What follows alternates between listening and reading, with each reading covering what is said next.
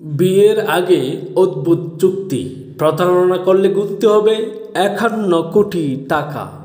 Ben Affleck ও Jennifer Lopez সম্পর্কের ক্ষেত্রে দুজনেই পুরকাওয়া। বিয়েটা হওয়ার কথা ছিল দু হাজার তিন সালের সেপ্টেম্বরে।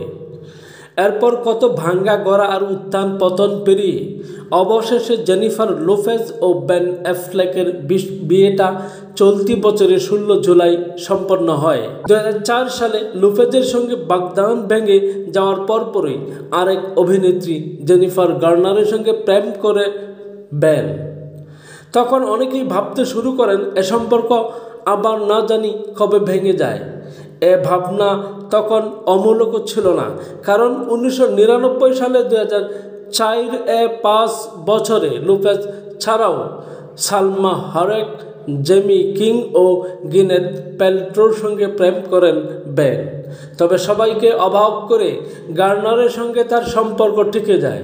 দুহাজার পাঁচ সালে তারা বিয়ে করেন, যা টিকে ছিল পরের এক দশক।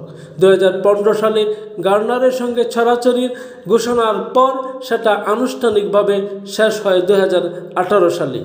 দু হাজার বিশ সালে অভিনেত্রী আনা ডে আর মাসের সঙ্গে রোমান্সে জড়ান বেন।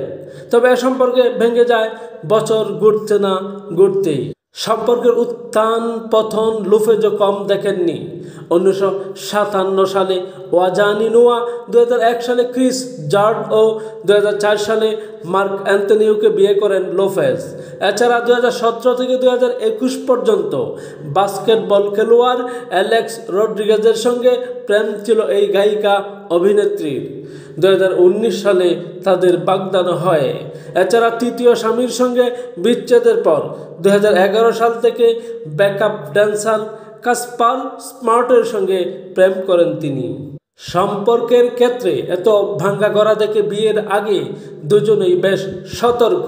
স্পেনিশ দৈনিক মার্কা জানিয়েছেন, নতুন করে সম্পর্কে জড়ানোর আগে পঞ্চাশ লাখ ডলারের বাংলাদেশি মুদ্রায় একান্ন কোটি টাকার বেশি। প্রতারণা বিরোধী চুক্তি করেছেন বেন ও জেলো।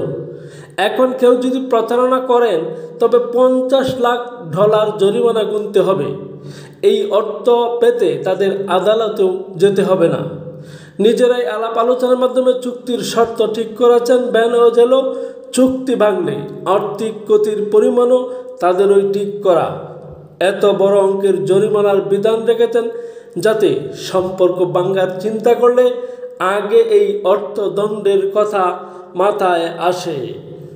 লোপেজের ঘনিষ্ঠ একটি সূত্র জানিয়েছে, অভিনেত্রী সম্পর্ক ধরে রাখতে চান।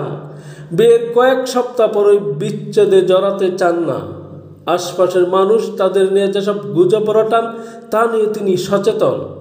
প্রতারণা বিরোধী চুক্তি নিয়ে অবশ্য ব্যান অ্যাফ্লেক বা জেনিফার লোফেজের কোনো মন্তব্য পাওয়া যায়নি।